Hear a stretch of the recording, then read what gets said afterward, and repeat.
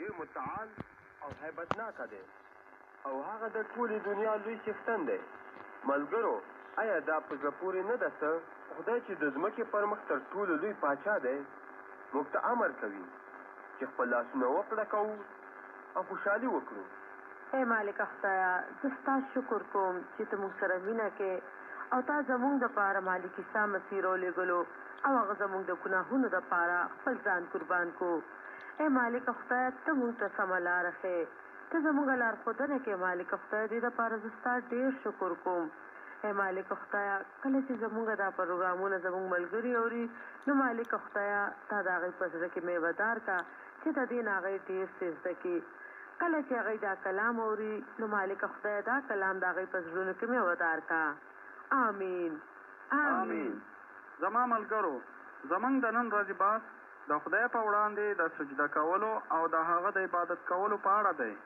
لالا جانه ډیر وبخښئ چې ستاسو خبره مې ونیوله، اجازه راکوئ چې یوه موضوع له تاسو سره شریکه کړم.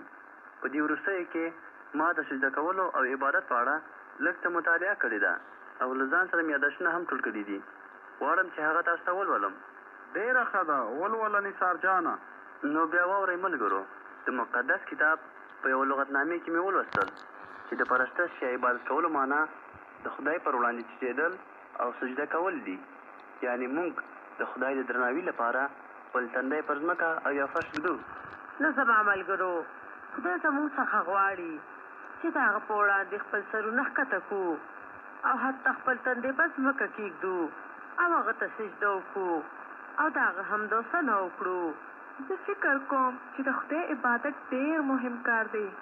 هغه زموږ خالق او پیدا کوونکی او موږ د هغه مخلوق یو. همدا دلیل ده چې موږ د هغه عبادت او پرستش کوو. بلکل لیلا جانې همداسې ده. کله چې زموږ مالک عیسی مسیح د ځمکې پر مخ و، یو ځوان او مالداره سړی د هغه څخه راغی. عیسی مسیح نه یوازې دا، چې د هغه په لار کې خنډ نه شو، بلکې د هغه عبادت یې قبول کړو. دا موضوع موږ ته په ډاګه کوي، چې عیسی مسیح دا ډول عبادت قبلوي. پر وینې پورې، د دې نه علاوه، کله چې.